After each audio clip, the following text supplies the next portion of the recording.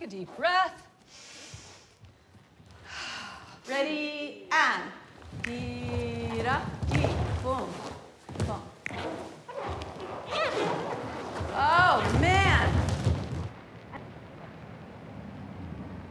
That's part of what makes Trisha amazing, that she developed movement that went so far beyond. She turned everything in every direction. And it's great. Forewarned me I might not the Distinguished Alumnus Award at my high school.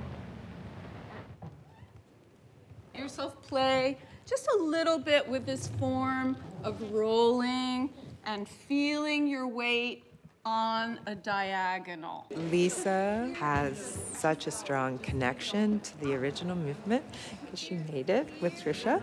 And I actually think the dancers here are really, really lucky to have the knowledge come from her. That I see people's heads like this sometimes.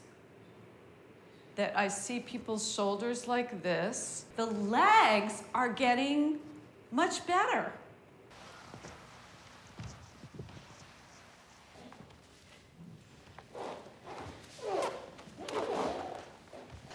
Oh, good. Nice. Good distance.